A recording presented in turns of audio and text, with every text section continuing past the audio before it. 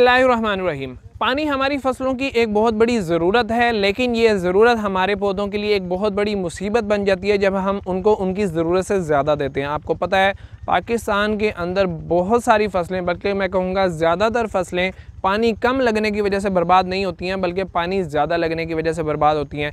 ऐसे में हमारी इन्वेस्टमेंट बढ़ जाती है, हमारी फ़सलों का नुकसान बढ़ जाता है और हम अपने मुल्क का नुकसान कर रहे होते हैं। तो आज की इस वीडियो के अंदर हम बात करेंगे कि हमारी फ़सलों को पानी की ज़रूरत कब होती है और हमें उन्हें पानी किस तरह से लगाना चाहिए और कब लगाना चाहिए। असलम दोस्तों, इट्स मी मज़र अली। आप मेरे साथ हैं आई आर फॉर्म्स चैनल पर मेरे साथ रहिएगा। एक बात हमेशा याद रखनी चाहिए कि हर चीज़ ज़रूरत के मुताबिक अच्छी लगती है, उसका इस्तेमाल उसके मुताबिक ही अच्छा लगता है। अगर आपको दो रोटियों की भूख है, आपको दस रोटियाँ खिला दी जाएँ तो आप वॉमिट करके, उल्टी करके उसको बाहर निकाल देंगे।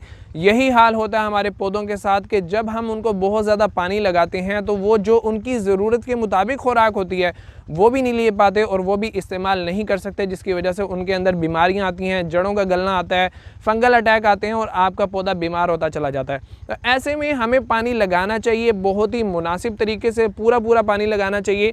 अब सबसे ज़्यादा सवाल ये होता है कि हमें अपनी फ़सल को पानी कितने दिन के बाद लगाना चाहिए? दो दिन के बाद लगाना चाहिए, चार दिन के बाद लगाना चाहिए, दस दिन के बाद लगाना चाहिए। तो इस सवाल का कोई भी जवाब नहीं है, मखसूस जवाब नहीं है, क्योंकि ये सारे का सारा डिपेंड करता है कि आपकी फ़सल कैसी है, आपकी फ़सल की, आपकी फ़सल जिस ज़मीन के ऊपर लगी हुई है, वो वो ज़मीन कैसी है।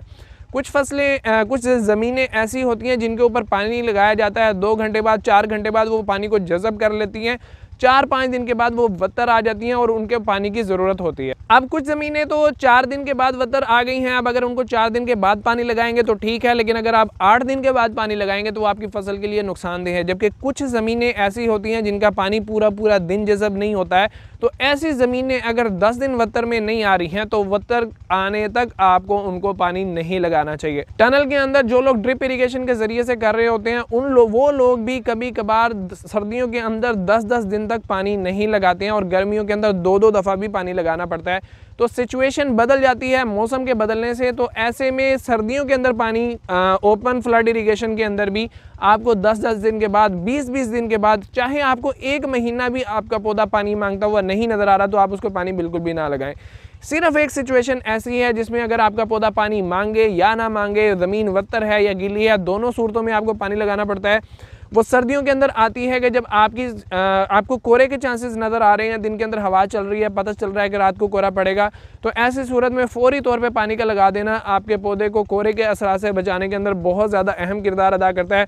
इसके अलावा दूसरी बात यह कि फ़सल को लगाते वक्त भी ये ध्यान रखा जाए कि आप जो बीज लगा रहे हैं या जो पनीरी लगा रहे हैं, वो ऐसी जगह पे लगाएँ कि जहाँ पे पानी डायरेक्ट कभी भी ना लगे, चाहे वो ज़मीन चाहे वो फ़सल ज़मीन के अंदर ग्रो करने वाली है, चाहे मतलब आलू है, शलजम है, गाजर है, या वो फ़सल ज़मीन के ऊपर अपनी फ्रूटिंग करती है, जैसे कि शिमला मिर्च, सब्ज़ मिर्च और टमाटर वगैरह, इनकी जड़ों को जब डायरेक्ट आपका पानी लगता है तो जड़ों के इर्द गिर्द की मौजूद ज़मीन सख्त हो जाती है उसके अंदर ऑक्सीजन का आना जाना ख़त्म हो जाता है, जिसकी वजह से पौधा बीमार हो सकता है। इसलिए पानी लगाते वक्त हमेशा इस बात का ख्याल रखें कि आपका पानी हमेशा एक मुनासिब सतह पे आके रुक जाए, उससे ऊपर आपका पानी बिल्कुल भी नहीं जाना चाहिए, ताकि जो जड़ें हैं, उनके इर्द गिर्द की ज़मीन नरम रहे और वो बड़ी आसानी के साथ ग्रोथ कर सकें। सबसे बेहतरीन ज़मीन वो होती है, जिसके अंदर ज़्यादा से ज़्यादा पानी को जज़ब करने की सलाहियत हो, लेकिन कुछ पानी ऐसे होते हैं कि ज़मीन अच्छी भी हो तभी वो जज़ब नहीं होते हैं। जैसे कि आमतौर पर नहरी पानी या दरियाई पानी, जिसके अंदर मिनरल्स की तादाद बहुत ज़्यादा होती है, वो ज़मीन के अंदर जज़ब नहीं हो पाता।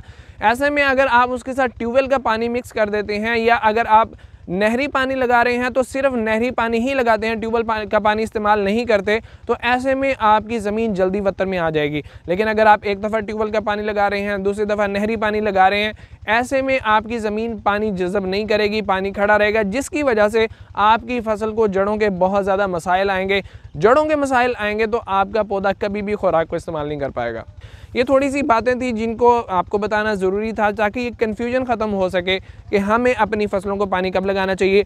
आपका आइडिया इसके बारे में क्या है? आप इसके बारे में क्या सोचते हैं कि हमें इसके अलावा मज़ीद किन किन एहतियातों से काम लेना चाहिए? या मुझे प्लीज़ कमेंट के अंदर ज़रूर बताइएगा। उम्मीद है आप लोगों को आज की वीडियो पसंद आई होगी। पसंद आई हो तो लाइक ज़रूर कीजिएगा शेयर कीजिएगा। मेरे चैनल आयर फार्म को ज़रूर सब्सक्राइब कीजिएगा। मज़र अली को इजाज़त दीजिए। अल्लाह हाफ़